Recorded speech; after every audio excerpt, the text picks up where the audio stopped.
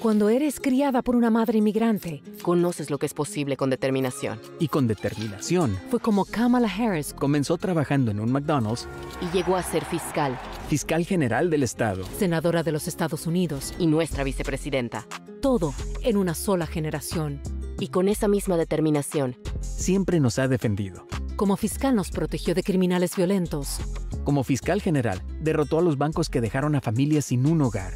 Como nuestra vicepresidenta, lucha todos los días por los derechos reproductivos de las mujeres. Y derrotó a las compañías farmacéuticas para bajar el precio de la insulina y los medicamentos. Como nuestra presidenta, trabajará con determinación para detener a las corporaciones que estafan a nuestras familias con el costo de renta y la comida.